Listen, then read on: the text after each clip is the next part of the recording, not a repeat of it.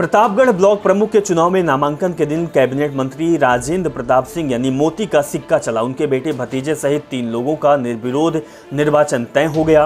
कुंडा विधायक रघुराज प्रताप सिंह यानी कि राजा भैया और कांग्रेस नेता प्रमोद तिवारी के भी एक एक समर्थक के निर्विरोध ब्लॉक प्रमुख बनने का रास्ता साफ़ हो गया है। आपको बता दें कि ब्लॉक प्रमुख के चुनाव में कैबिनेट मंत्री मोती सिंह का दबदबा दिखा। नामांकन के साथ मंगरौरा विकासखंड में उनके बेटे राजीव प्रताप सिंह, जिनका नाम नंदन है, उनको ब्लॉक प्रमुख बनना अब पूरी तरह तय हो गया। मोती सिंह की चुनावी बिसात के कारण किसी अन्य की नामांकन नहीं किया गया।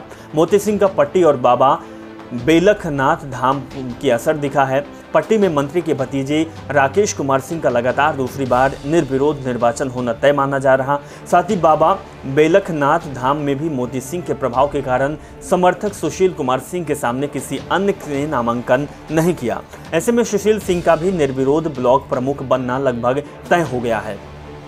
बात की जाए तो कुंडा तहसील क्षेत्र के स्थानीय विधायक और पूर्व मंत्री रघुराज प्रताप सिंह राजा भैया ने भी बिहार विकासखंड से जनसत्ता दल लोकतांत्रिक की प्रत्याशी सुशीला देवी की राय निष्पष्ट कर दी है। सुशीला देवी के सामने भी किसी अन्य प्रत्याशी ने नामांकन नहीं किया।